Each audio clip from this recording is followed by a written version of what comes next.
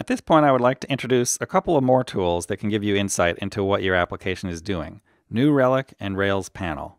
I'll start with New Relic. New Relic is a SaaS tool that takes runtime metrics, both on the server side and the client side, in your Rails app and makes them available to you in an online dashboard. It has a free plan, but you'll get more out of it with the paid plans. New Relic is designed specifically to help you identify performance bottlenecks in your application when running in production, not just in development. There is a ton of information it'll give you. Just a couple of examples. Which requests are the slowest on average, and which requests spend the most overall time. The difference is that the slowest requests are the ones whose average time is the longest, but the ones that take the most overall time might actually have a very fast average time, but be hit so frequently that you would want to improve their performance anyway, because they're the requests taking up time on your servers that is that prevents the servers from handling other requests. Another thing New Relic can do is when there is a SQL call that's slow, it'll run a SQL explain on that call on the production machine and you can see the explain results in the New Relic dashboard.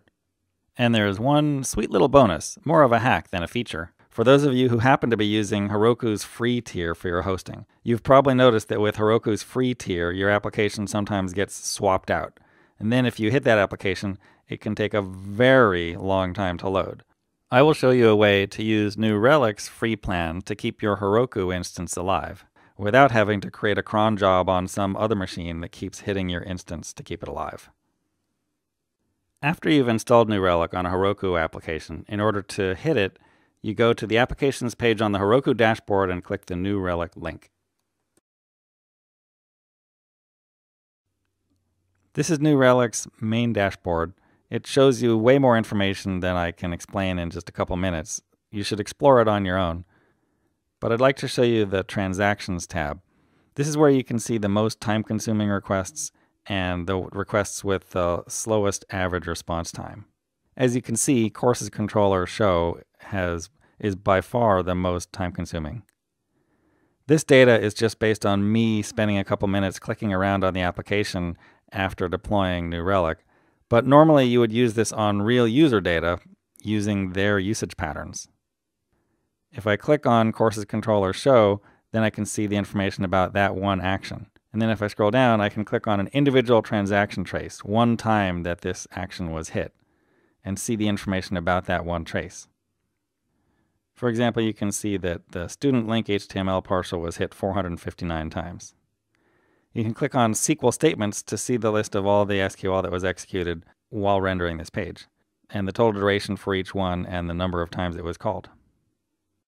So for performance monitoring, it's hard to beat New Relic.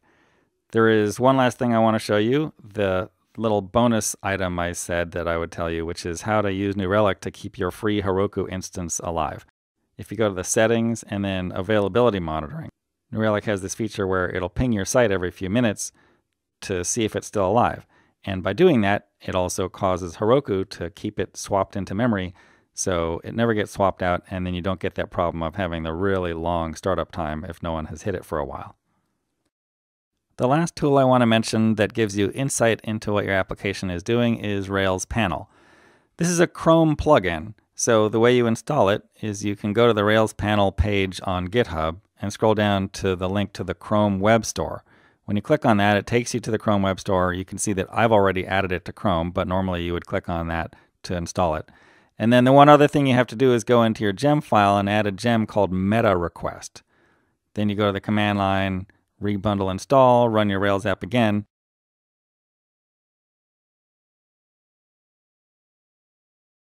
And now what you get is an extension to the standard Chrome debug panel. So I hit the page and I go over on the right to the Rails tab, and now it shows me that I have hit home controller index and it shows me a whole bunch of information about this request.